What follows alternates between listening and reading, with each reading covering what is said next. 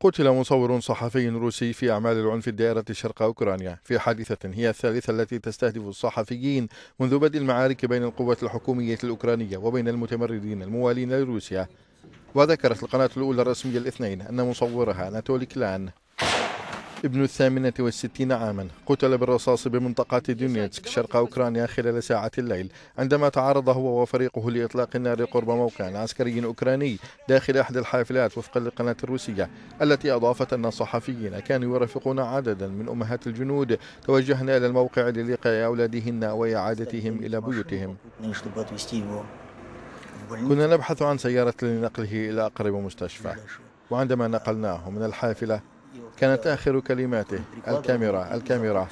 كان قد تركها بالحافلة.